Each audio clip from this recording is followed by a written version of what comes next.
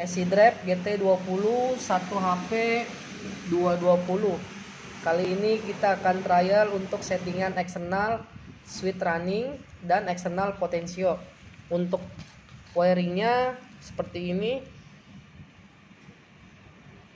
Yang pertama warna putih itu masuk ke plus 10 yang silver atau yang tengah itu masuk ke AI1 dan yang merah itu masuk ke GND dan yang satunya untuk external running switch itu masuk ke DI1 sama GND Nah, langsung saja untuk masuk ke programnya.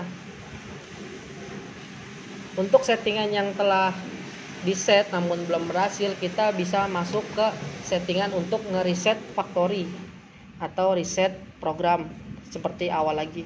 Itu masuk ke grup F0, tekan enter yang tengah, kita cari F003 nah awalnya 0 kita isi 2 untuk ngereset program.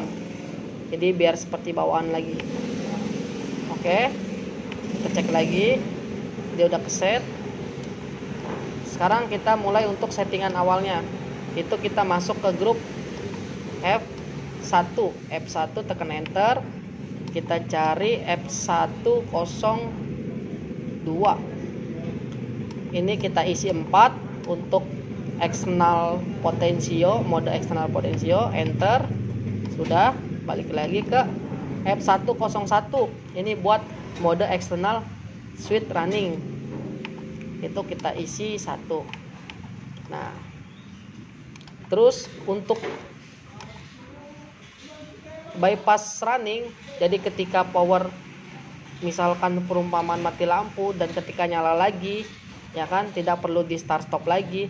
Itu masuk ke settingan F2 F2 tekan enter.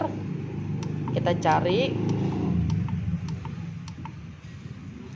F206 nah ini kita isi satu. Nah, sudah semua. Ya kan?